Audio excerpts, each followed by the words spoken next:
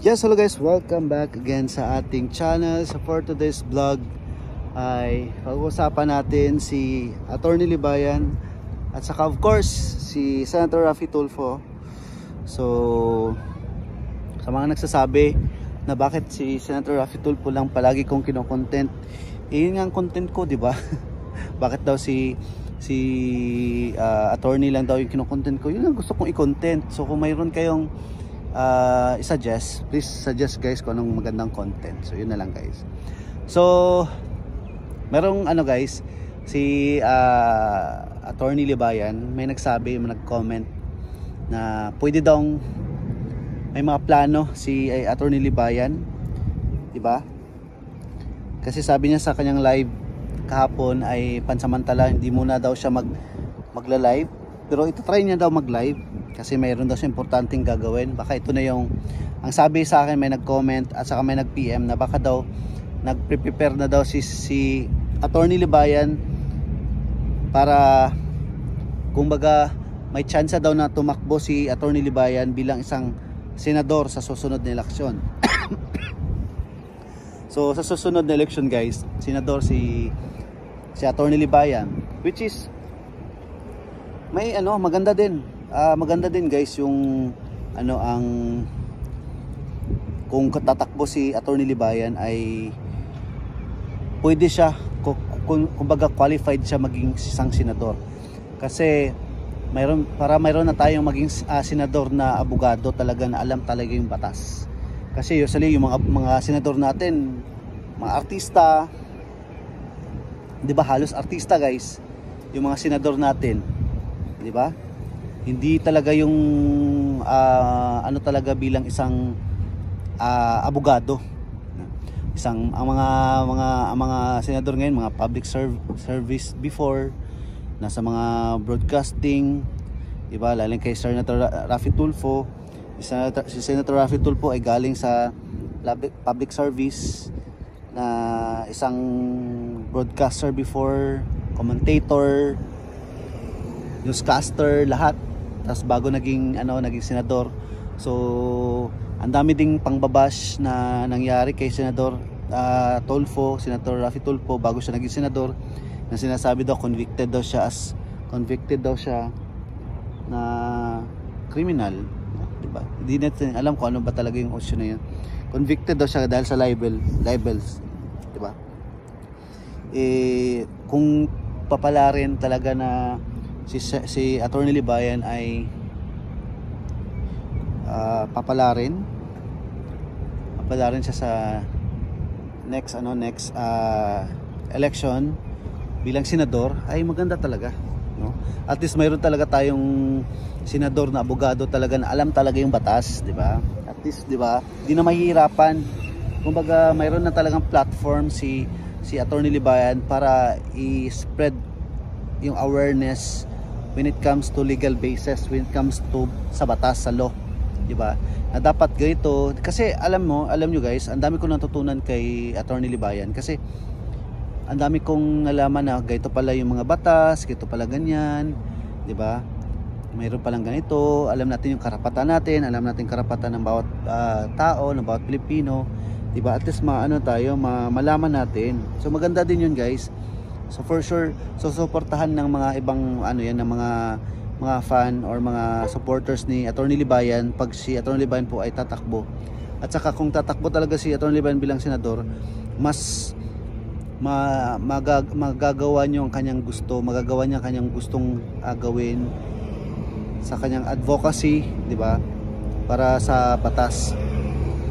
Kasi 'di ba, ang daming ang daming ding naging kalaban ha ang dami ding naging na, nabangga ni Attorney Libayan yung mga scam, mga crypto, mga Axie Infinity, ang dami din tala, ang dami pa lang mga ano na tinalakay niya sa kanyang vlog na kung saan may mga mali, may mga karapatan. So nalaman natin, nalaman natin yung mga karapatan guys. So yung mga ganitong klasing tao, mga ganitong klasing mga kandidato or mga leader ang dapat natin na ihalal sa ating bayan. Kasi nga 'di ba may malasakit at saka may alam talaga sa batas. Di ba?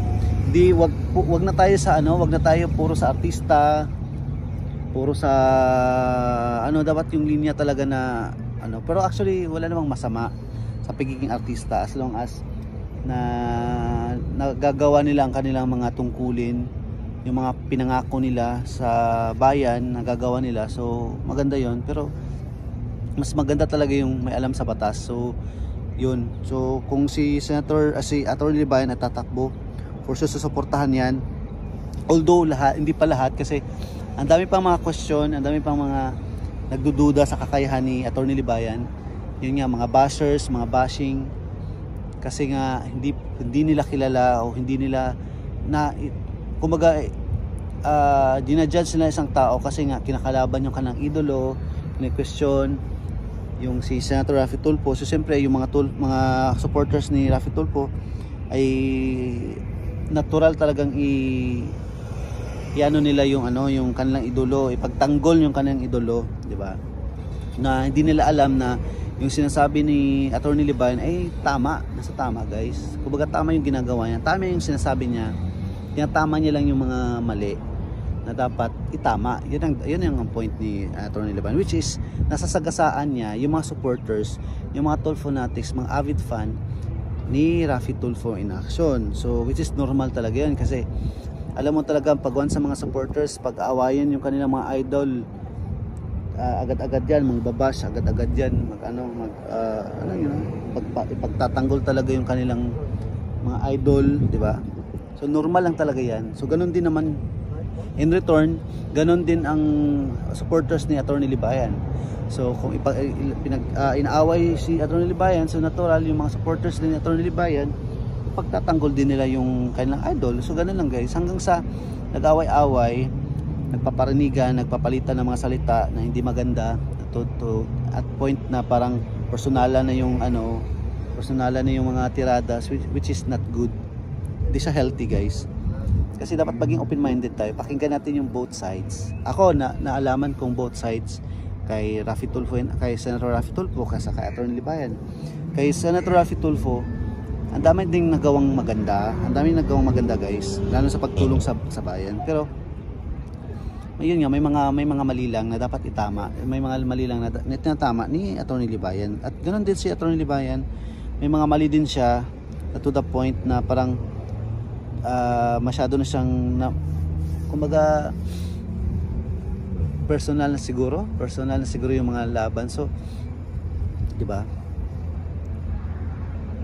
So yun guys. So tsaka ang ang nagpapalala lang talaga ang nagpaalala lang talaga ng ano ng uh, ng mga issue is yung mga ano yung mga supporters ng bawat panig. Kasi sila yung nag uh, nag nag kumbaga nag-spread ng mga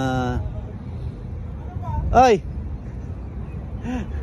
nag-spread ng mga fake news nag-spread ng mga hates towards uh, supporters both side kaya siguro kasi uh, alam naman natin pag uh, papagtanggol talaga natin yung mga ano natin, mga idol natin pag sa tingin natin na inaaway nila yung ano, 'di ba? So, yun lang ginagawa, 'di ba?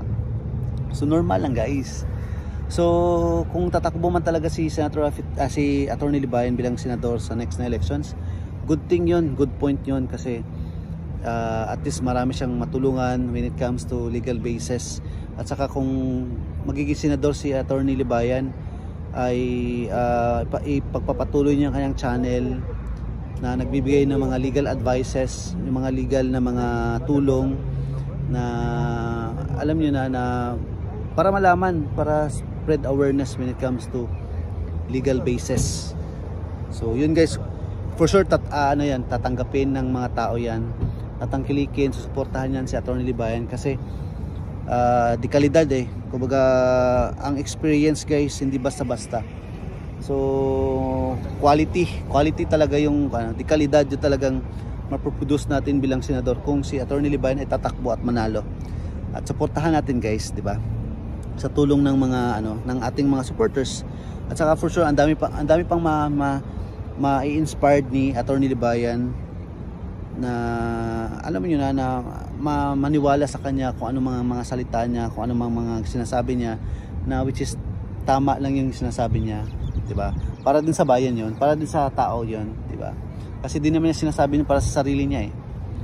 So, yun lang guys. So, kung tatakbo man si Atty. Libayan, let's support. At, 'di ba? So, let's see. So yun guys for updates for today. So maraming salamat po sa mga nagko-comment. So shout out po sa inyo lahat sa mga supporters ni Atron Libayan, sa mga supporters ni Rafi Tool po. Shout out din sa inyo. So uh, yun. So see you again for my next vlog. Maraming salamat po. Mabuhay po tayong lahat.